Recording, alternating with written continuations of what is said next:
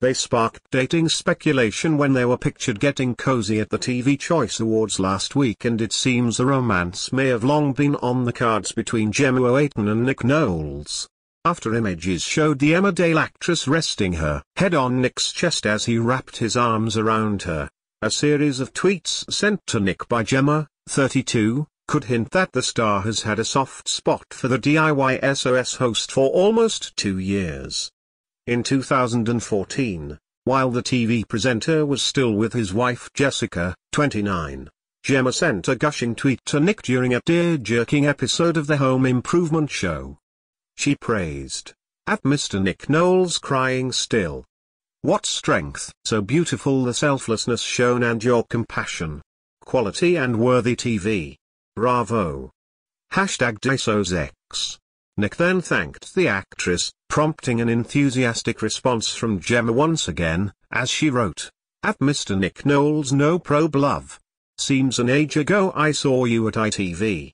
Hope all's well, keep up the grand work. I'll buy waterproof mascara.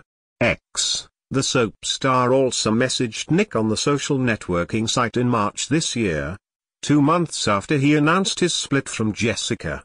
At Nick Knowles the work you all do at Disos is phenomenal. Wonderful people. Sat here crying. If I can ever help in any way say the word. X, she wrote. When the 53-year-old replied. Thank you Gemma, Gemma wrote. My pleasure love X. Their Twitter exchanges come as images showed the duo looking very closely acquainted as they stood outside of the TV Choice Awards in London last Thursday. Gemma is the first woman Nick has been linked to following his split from his estranged wife Jessica in January this year.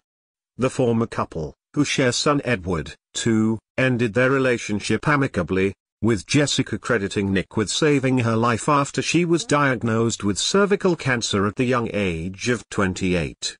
Revealing that it was Nick who made her visit her GP, Jessica told the Sunday Mirror in July, He's still there for me but it's hard. I'm really sad we split. The pretty blonde, who underwent a life-saving operation to remove her cervix, then revealed that Nick continued to support her throughout her recovery. The BBC gave him time off, he comes over and cooks me food. He's even planted flowers in the garden as he wanted me to be surrounded by color, she added. Jessica also gave Nick her blessing to find somebody new, continuing.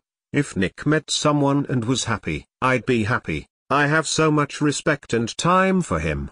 Watch more videos at video.5la.net.